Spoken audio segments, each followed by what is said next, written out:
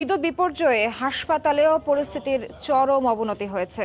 এই মুহূর্তে ফেনী জেনারেল হাসপাতালে আছেন রিপোর্টার আতিয়া সজল। সবশেষ খবর জানতে সরাসরি যাচ্ছি তার কাছে।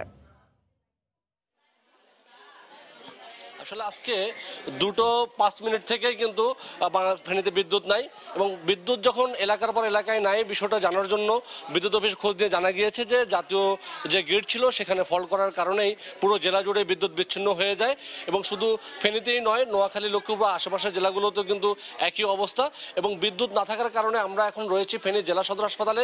এখানে দুশো পঞ্চাশ হাজার বিশিষ্ট যে হাসপাতাল রয়েছে, সেই হাসপাতালটিতে কিন্তু ধারণ ক্ষমতার কয়েক গুণ বেশি রুগী সবসময় ভর্তি থাকে, আজও তার ব্যতিক্রম নয়। উপচে পড়া রোগীদের ভিড় এবং এসব রোগীরা এখানে জেনারেটর দিয়ে কিন্তু এক, দুটি ভবন রয়েছে। তার একটি ভবনে কিছুটা তারা যে সেবা কার্যক্রম চালালেও পুরাতন যে ভবনটি রয়েছে, যেখানে তিন শতাধিক রুগী রয়েছে, তাদের কিন্তু করুণ একটি অবস্থা এখানে পরিলক্ষিত হচ্ছে। দেখতে পাচ্ছেন যে এখানকার রুগীরা যেটা জানিয়েছেন, দুটোর পর থেকে বিদ্যুৎ নাই এবং বিদ্যুৎ না থাকার কারণে অনেক বয়োবৃদ্ধ শিশু এবং অনেক অসুস্থ রুগী যারা রয়েছেন বিভিন্ন ধরনের, তারা কিন্তু অনেকটা কষ্টে তাদের সময় কাটছে। এবং এখানকার স্বজনরা যেটা জানিয়েছেন, জেলা সদরের মতো হাসপাতালে, পুরাতন ভবনে এখন জেনারেটারের কোনো ব্যবস্থা নাই।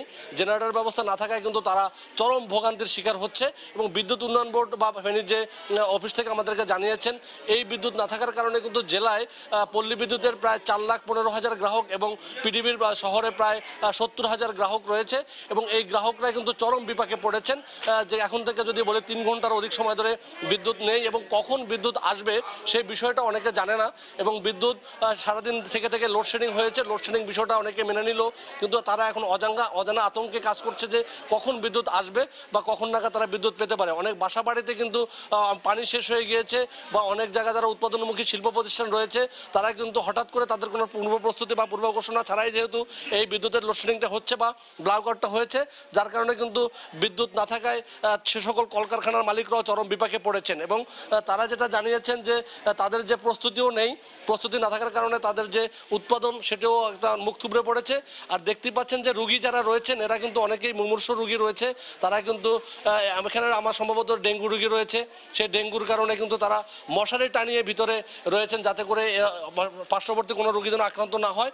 এবং এখানকার যে পরিবেশটা সৃষ্টি হয়েছে, দ্রুত যদি বিদ্যুৎ না আসে, আসলে সকল অঙ্গনেই কিন্তু এর প্রভাবটা খুব বাজেভাবে পড়ছে। এবং তা অনেকেই বলছে যে বিদ্যুৎ কখন আসবে তা যত দ্রুত আসবে ততই সবার জন্য মঙ্গল হবে। এই ছিল বিদ্যুৎ না থাকার ফেনী সদর হাসপাতাল থেকে আমার কাছে সবশেষ। এতক্ষণ সরাসরি যুক্ত ছিলাম ফেনী থেকে।